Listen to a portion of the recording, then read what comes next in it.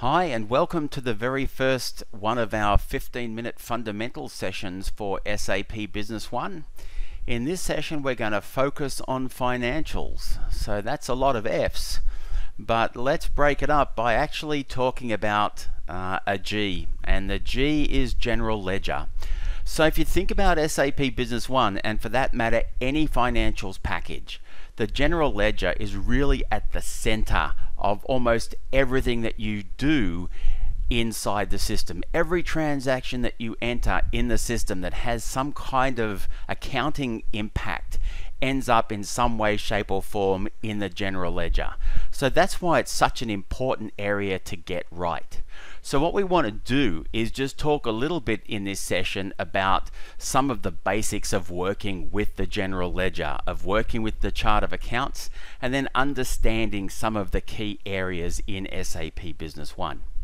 Now, it's important to remember that when it comes to the chart of accounts, you have two options chances are you're already utilizing a fully implemented SAP Business One system. So many of the decisions about utilizing the different capabilities of the general ledger have probably already been made inside the organization.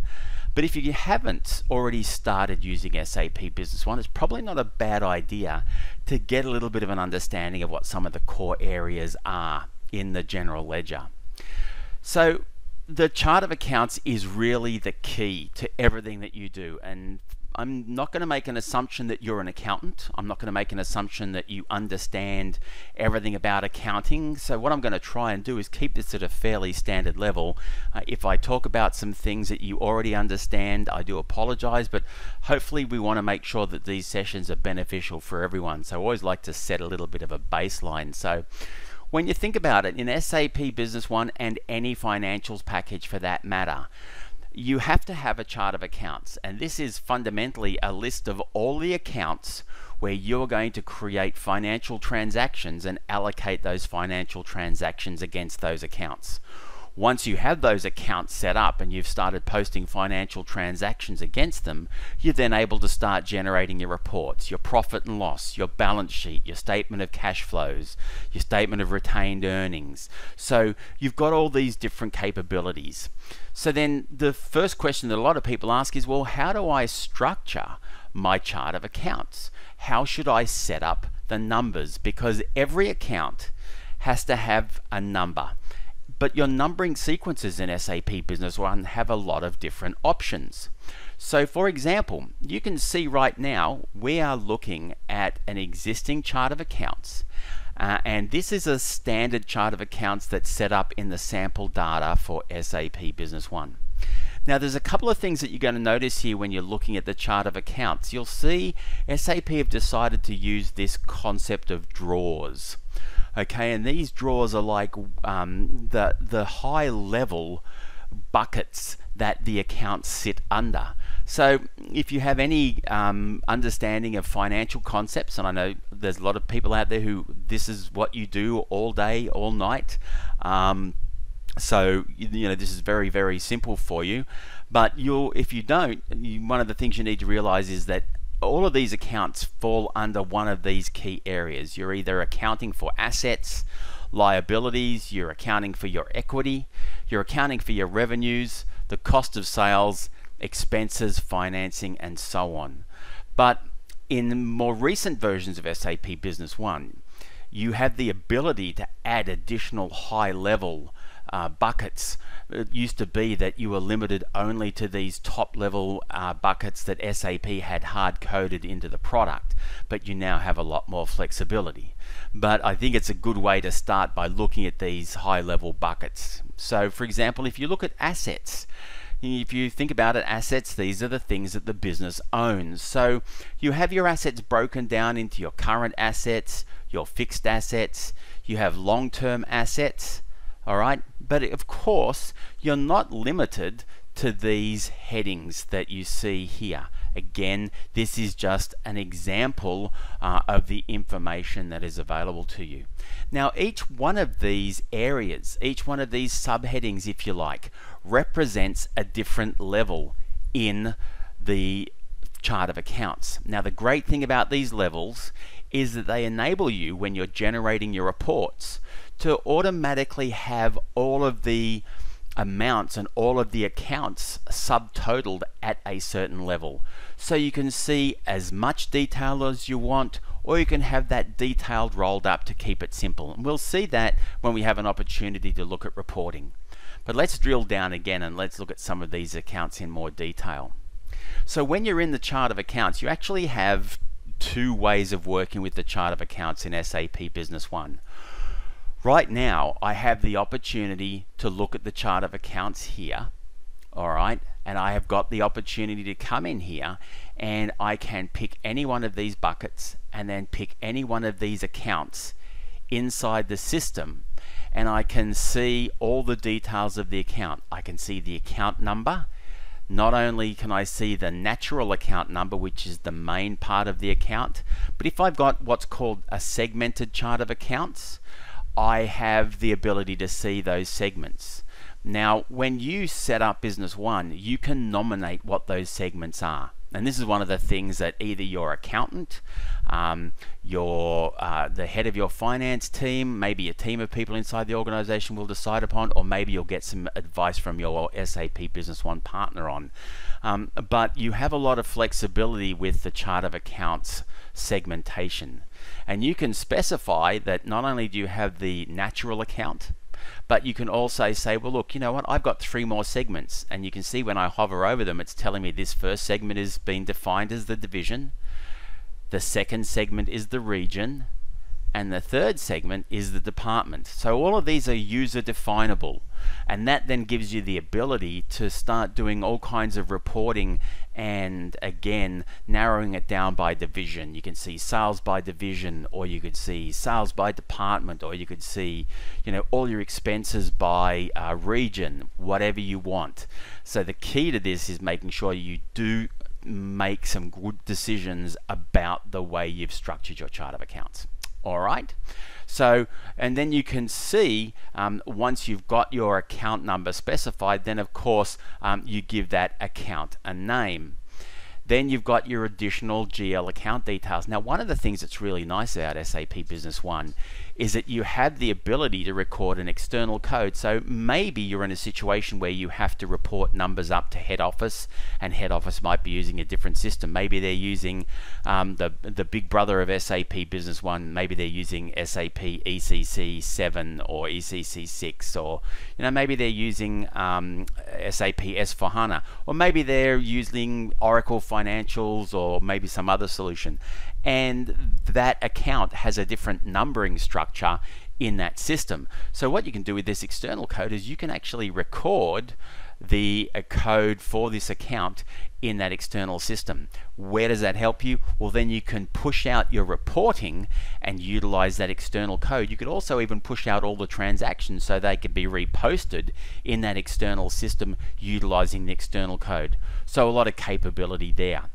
You also have the ability to specify that an account um, is limited to a specific currency or can have transactions post against it in all currencies. You also have the ability to specify if it's a confidential account, so only certain people have access to it. And that's where you're specifying at what level does this account sit. So when you start printing your reports and you're rolling up, um, you can actually get those to group in the right areas.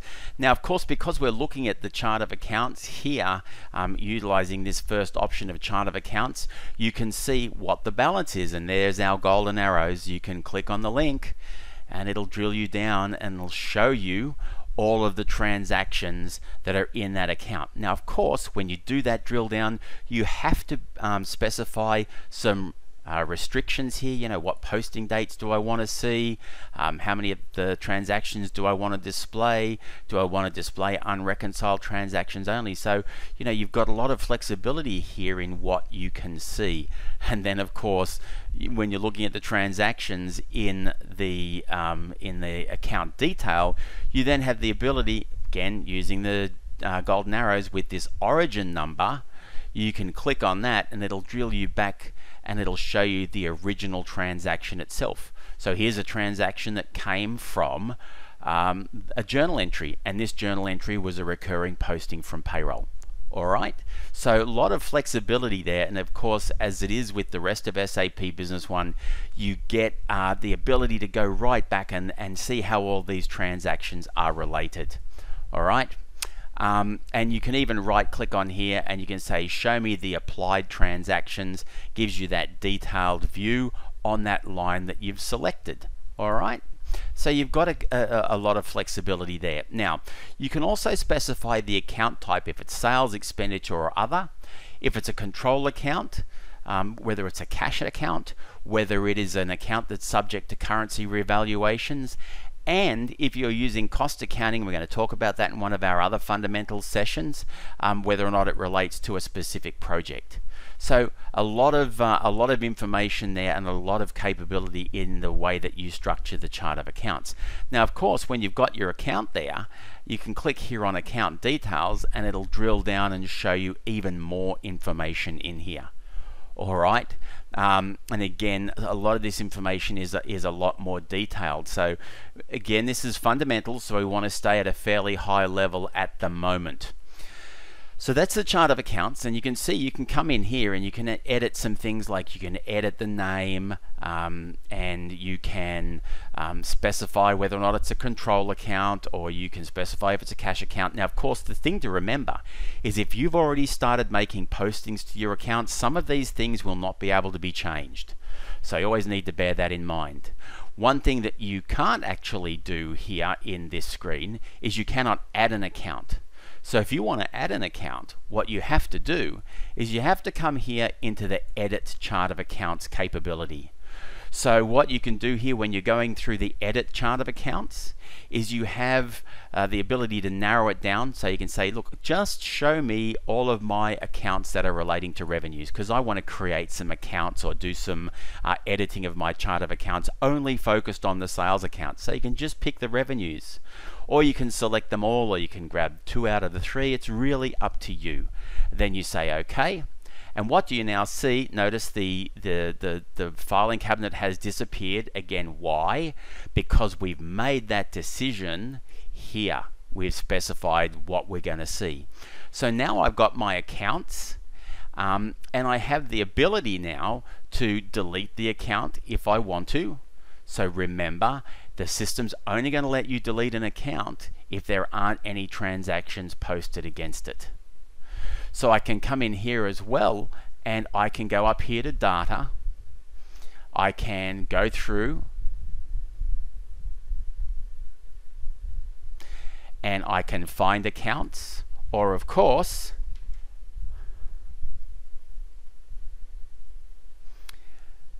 I can come in and I can add an account.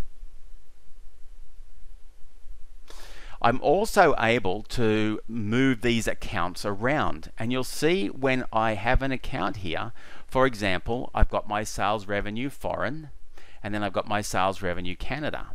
So I could say you know what I actually want to move this account up in the drawer so right now you'll see it's after my 412 with all those different zeros.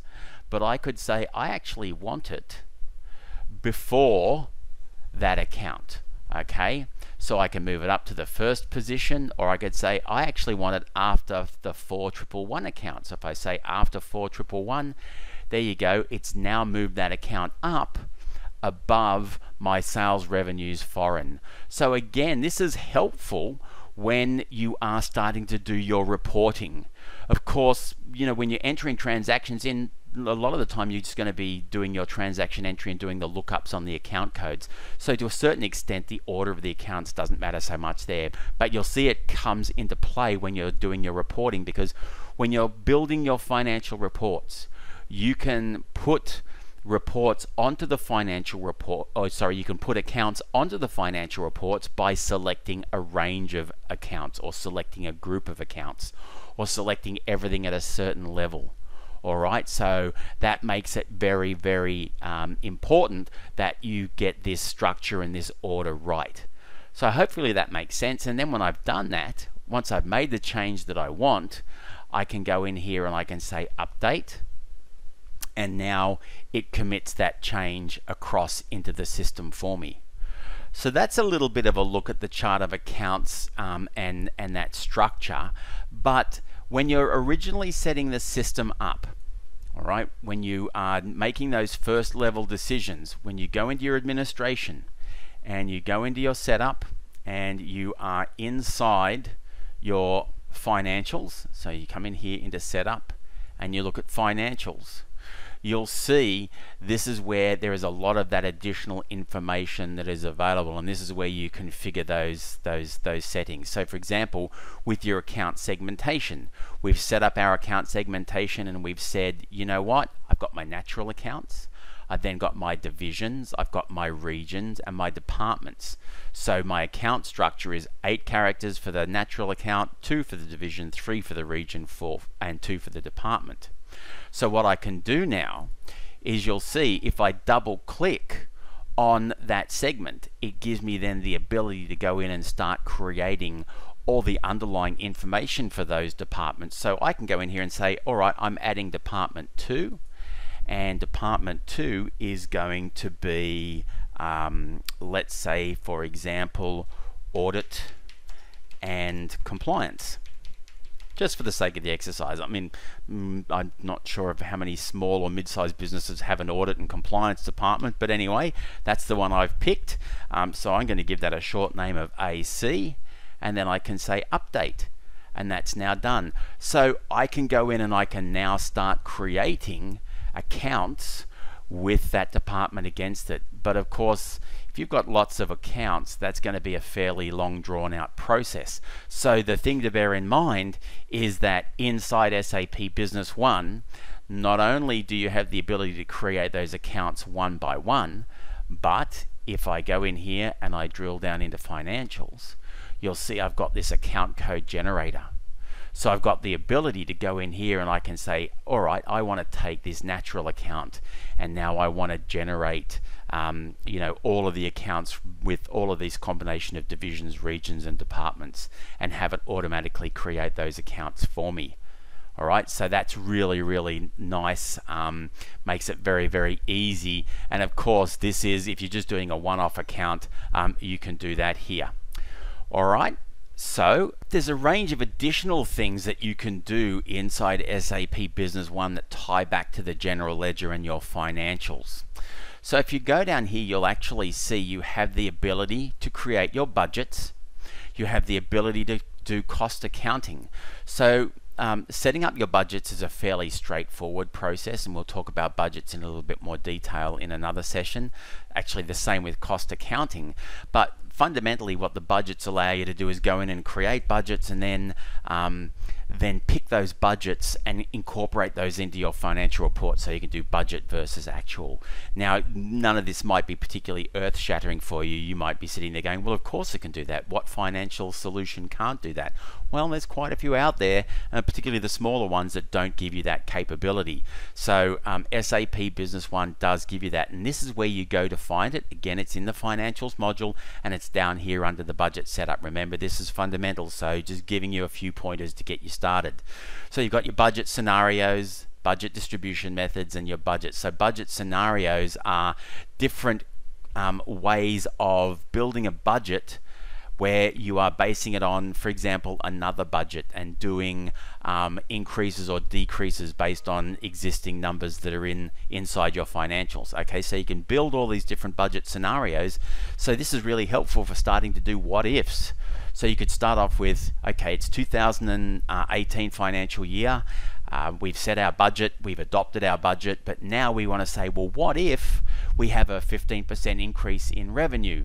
What will our budget look like and what will our financial reports look like? So this is where the budget scenarios capability really helps you to do that.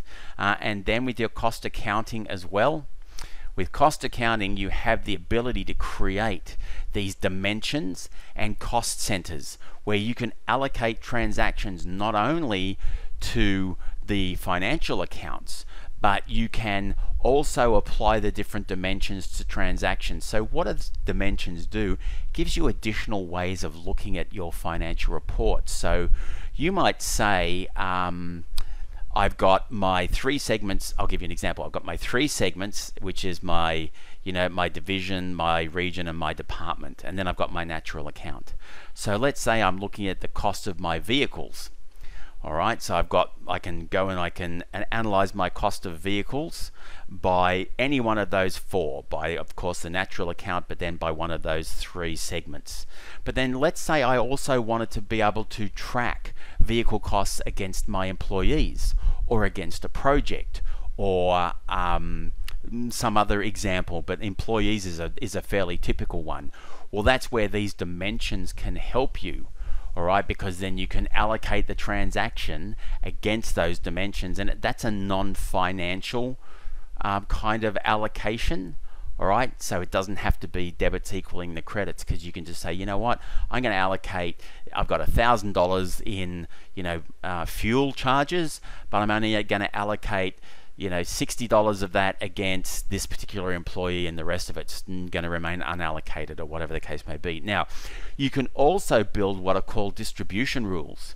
So you can predefine whenever I do my posting of rent, for example, I'm going to automatically distribute rent. I'm going to put 30% to this cost center, 20% to this cost center and 50% to this cost center. So you've got that capability in here in, um, in your distribution rules. Uh, and then of course, you've got your reporting like your budgets versus um, from a cost accounting perspective. And of course, then you've got your reconciliation capabilities. Your financial reports, you get done down here in the financial reporting area. And of course, there's a full suite of those reports available. Um, you know, you've got your trial balance, and here comes my accounting joke. Um, what happens if your trial balance doesn't balance? Well, it doesn't matter, it's only a trial. Um, if you're an accountant, hopefully you get it. Um, if you're not, you're probably sitting there going, what the hell is he talking about? But anyway, um, so you've got your accounting reports, uh, you have you got your financial reports, your like your balance sheet, your trial balance, your P&L, statement of cash flows and so on. Your comparison reports where you're able to compare one year to another. Your budget reports and for those of you who have to deal with such things, you have your intrastat reports. So that's a little bit of a, a kind of a basic introduction to the general ledger um, that's in SAP Business One. In our next session, we're going to drill down and start looking a little bit deeper at setting up your financial reporting.